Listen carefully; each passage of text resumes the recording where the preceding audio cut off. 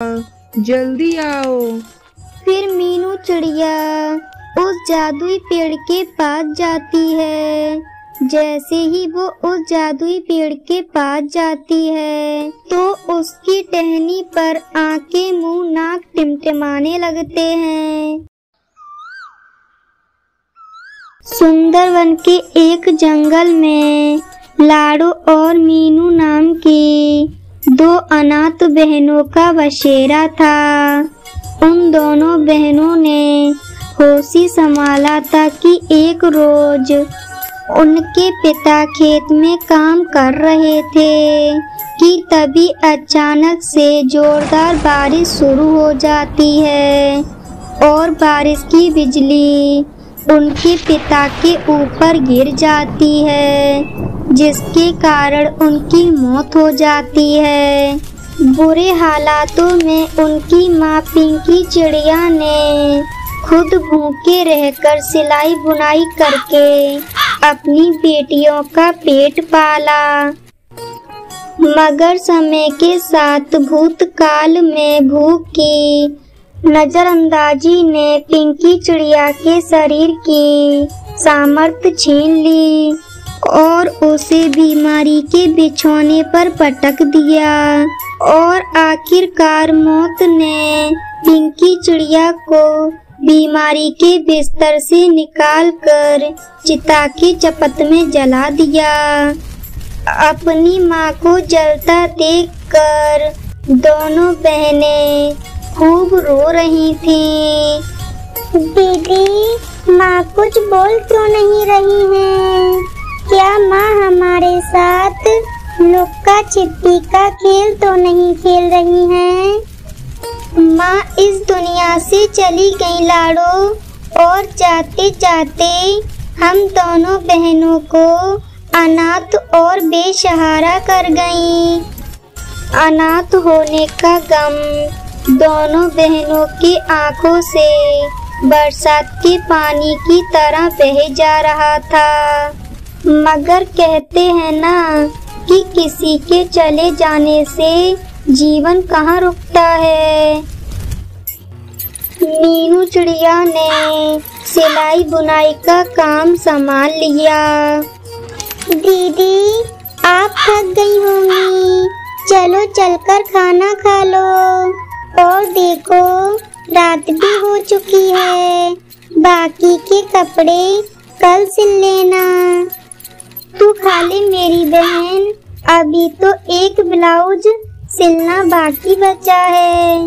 एक ये कपड़े ही तो हम गरीब और अनाथ बहनों का चूल्हा जलने का ज़रिया है।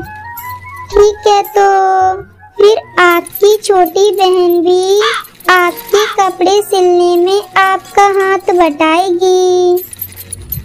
दोनों बहनों के बीच बसा हुआ इसने ही उनकी गरीबी की सहेली था। इसी तरह पाँच साल बीत गए। दोनों बहनें बड़ी हो गईं।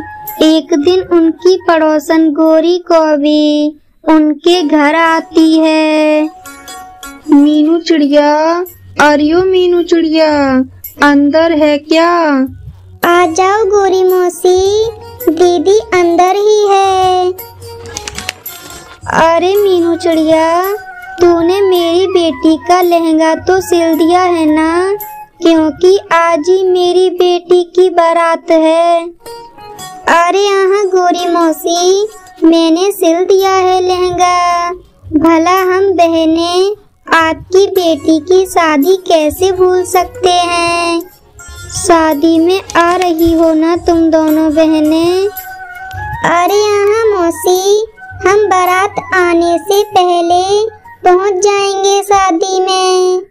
अरे, वो तो ठीक है, लेकिन जरा अच्छे से तैयार होकर आना। पता चले कि तुम ऐसे ही आ जाओ बिना तैयार हुए। क्या पता वरना किसी लड़के की नज़र पड़ जाए तुम पर। वरना तो इस गरीबी में तुम दोनों बहनों का ब्याह तो होने से रहा। एक तो अनाथ होने का ठप्पा, ऊपर से गरीबी की चपट। मैं सच कहती हूँ, मुझे तो बहुत तरस आता है तुम दोनों बहनों पर। अच्छा अब मैं चलती हूँ। बारात का बहुत काम बाकी है। गोरी कौबी के ये कड़वे बोल मीनू चिड़िया के घर घर जाते हैं और उसकी आँखों के आँसू उसके चेहरे पर आ जाते हैं। ये गोरी मौसी के मुँह में मिश्री घोलनी ही पड़ेगी। जब देखो तब अपने मुँह से जहर उबलती रहती हैं। ऐसा नहीं बोलते लाड़ो, जाने दे। शाम को जब दोनों बहनें बिना तैयार हुए शादी में पहुँचती हैं तो एक हरी तोती उन दोनों से कहती है, अरे, कैसी सहेलियाँ हैं तुम दोनों? अपनी सहेली की शादी में भी अच्छे से तैयार होकर नहीं आई हैं। बिना तैयार हुए ही आ गई हैं। थू थू थू। अरे, क्यों रही हो करम जलियो? तुम अनाथ बहने अपनी गरीबी का बिगुल बजाकर मेरी बेटी का घर बसाने से पहले उजाड़ना चाहती हो? तुम अनाथ दोनों बहनों का ब्याह तो हो ही नहीं रहा। समझाओ गोरी को भी तुम इन्हें मैं तो इन दोनों बहनों को समझा बुझा कर थक गई हूँ कि ये मेरे बेटे से ब्याह कर लें। माना कि वो बच्चों का बाप है, मगर उसकी बहू तो मर गई है ना। सपनों का राजकुमार तो मिलने से रहा। तुम अनाथ गरीब बहनों को मीनू चिड़िया रोती हुई नदी पर आ जाती है। जहाँ से वो रोज़ाना पानी भरती थी। बस बहुत हो गया। अब मुझसे इस जमाने के ताइने नहीं सुने जाएँगे। इसीलिए आज मैं इस नदी में कूदकर खुद को खत्म कर दूँगी। जैसे ही मीनू चिड़िया नदी के बीच अपना पैर बढ़ाती है, नदी की तरफ़ एक सुंदर सा फूलों से सजा हुआ। रास्ता बन जाता है। जो नदी के बीच बने जादुई पेड़ पर खत्म होता है। ये अचानक नदी की तरफ़ रास्ता कैसे बन गया? आओ आओ मीनू चिड़िया आओ। इस नदी के बीचों बीच आओ। मैं कब से तुम्हारा ही इंतज़ार कर रहा था। जल्दी आओ। फिर मीनू चिड़िया उस जादुई पेड़ के पास जाती है। जैसे ही वो उस जादुई पेड़ के पास जाती है तो उसकी टहनी पर आँखें मुँह नाक टिमटिमाने लगते हैं। डरो मत मीनू चिड़िया, मैं एक जादुई लहंगे का पेड़ हूँ और जो भी मेरी इस जादुई नदी का जुकड़न है। इसीलिए इस नदी का पानी भी पूरी तरीके से जादुई है। कहो, तुम परेशान क्यों हो? जादुई पेड़ मैं और मेरी बहन बेहद बेसहारा और गरीब हैं। खास करके ज़्यादा खूबसूरत भी नहीं। और ऐसे में हम अपना कर पाते हैं। और गाँव वालों से ये भी नहीं देखा जाता। वो हमें हमारा ब्याह ना होने का ताना देते रहते हैं। फिकर मत करो मीनू चिड़िया। तुम इस जादुई पेड़ से लाल और गुलाबी दो जादुई लहंगे उतार लो।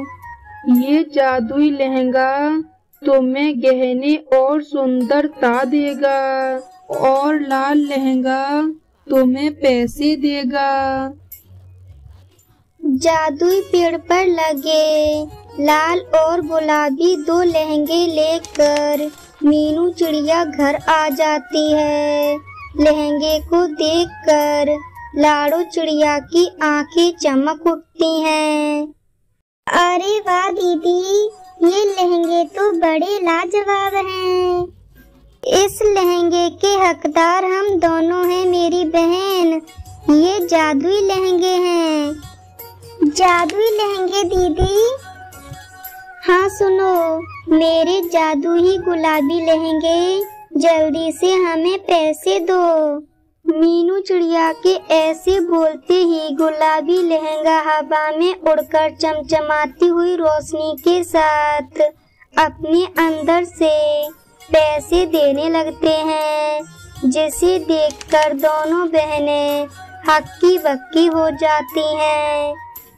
अरे सचमुच दीदी, उस जादुई पेड़ और नदी के दिए हुए लहंगे जादुई हैं। फिर दोनों बहनें दोबारा दिए हुए जादुई लहंगे के पैसों से गरीब बच्चियों की मदद करती हैं और खुशी खुशी रहने लगती हैं।